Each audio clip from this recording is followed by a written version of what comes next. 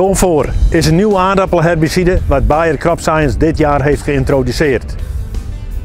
Wat is GoFor? Dat is een combinatie van de bekende actieve stof aclonifen vanuit de Challenge in combinatie met flufenicet, een nieuwe actieve stof in de aardappelteelt.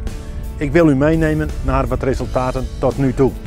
We zijn hier op het eh, Bayer proefplatform in Lelystad. Hier hebben we een zogenaamde multiweed aangelegd. We hebben verschillende onkruiden gezaaid. Een zwaluwtong, duivenkervel, zwarte nachtschade, kamille, perzenkruid en de doornappel.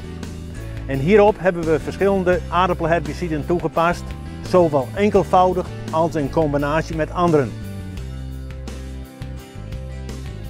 In de advisering hebben we gezegd, u vervangt de 1,5 liter challenge door de 2 liter go voor. Die twee objecten zien we hier. Aan de linkerkant van mij ziet u de 1,5 liter challenge en aan de rechterkant de 2 liter go voor.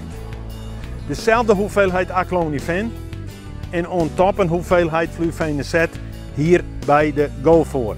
En u ziet dat u al een bredere onkruidwerking is en wat een heel duidelijk onderscheid is, hier zien we geen doornappel terug, terwijl we die hier bij de challenge wel zien.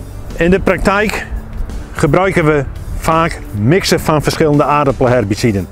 Een veelgebruikte menging is de 3 kwart liter Sencor in combinatie met 3 liter Boxer.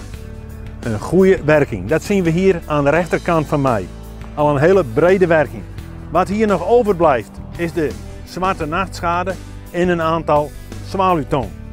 Aan de linkerkant van mij ziet u dezelfde mix, alleen dan is daar 2 liter go voor aan toegevoegd. En we zien gelijk dat we minder zwarte nachtschade hebben en ook minder zwaluwtoon. Ook in de praktijk is de GoFor op grote schaal toegepast. We zien ook daar een bevestiging van de goede resultaten die we vandaag in deze proeven hebben gezien. Kortom, met de GoFor hebben we de introductie van een nieuwe actieve stof en een duurzame oplossing voor een goede onkruidbestrijding in de Nederlandse aardappelteelt.